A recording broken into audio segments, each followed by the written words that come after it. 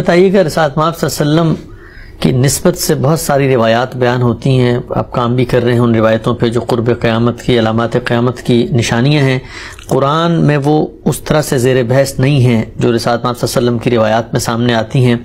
तो ये आप वसल्लम को इनका इल्म कैसे हुआ? वो हदीस जबरील में भी ज़िक्र आता है, जबरील ने पूछा तो आपने जो है वो अलामत की क़्यामत क़यामत की अलामत बताई। तो उनका माखज क्या है?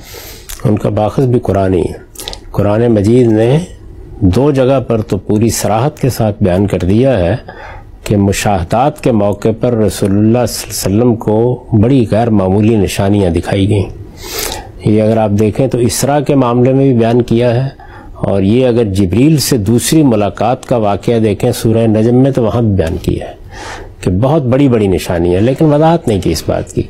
तो ज़ाहिर है कि वो निशानियाँ क्या हैं?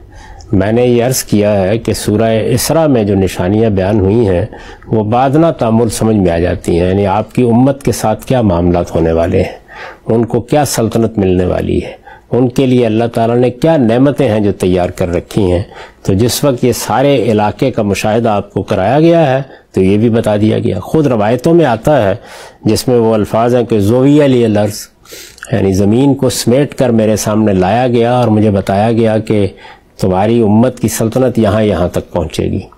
ये रोया है रिसालत में आप वसल्लम के और मुख्तलिफ़ वक्तों में ये रोया दिखाए गए।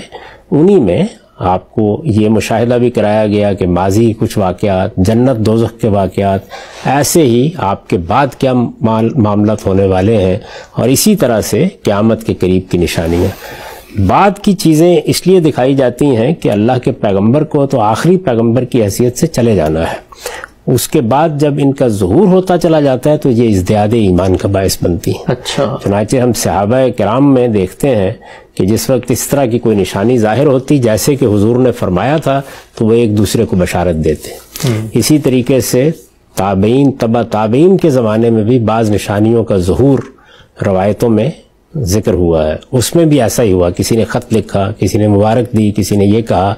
यही सूरत इस वक्त देखिए हुई हुई। है यानी आज के ज़माने में, आज से सौ, सवा सौ साल पहले कोई तस्वुर भी नहीं कर सकता था कि हदीस जबरील में जो रिसालत में आप ने फरमाया, और ज़ाहिर है कि ये भी रोया में आपको दिखाया गया होगा उससे पहले कि अरब के ये नंगे पाँव, नंगे बदन फिरने वाले चरवाहे इमारतों की बुलंदी में एक दूसरे से मुकाबला कर रहे हैं।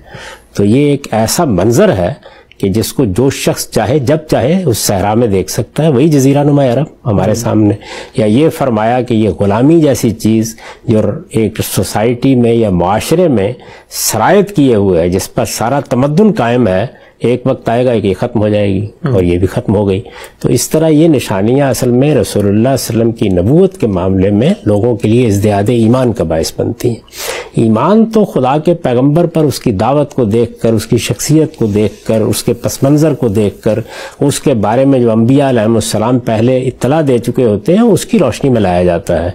लेकिन ये चीज़ें ईमान में इजाफे का, उसमें अफजूनी का बायस बनती हैं। जिस तरह उस वक्त बाज़ निशानियाँ, बाज़ मौजात रिसालत में आप के सहाबा के सामने आते थे, कहीं देखा कि पानी में उंगलियाँ डाल दी हैं तो एक पूरा लश्कर सैराब हो गया। कहीं एक दूध का प्याला है कि उसमें दो घोट खुद पिए और सहाबा को दे दिया तो सत्तर साहिबों का दफतन मोह फिर गया। तो ये सब चीज़ें असल में तकवीत का बायस बनती हैं पैगंबर के हवाले से, क्योंकि पैगंबर महज कोई शायर, कोई फ़लसफ़ी नहीं होता। यानी कोई हकीम नहीं होता कि हम महज इस्तदलाल पर खड़े होते हैं, उसका रबता उस आलम के साथ है।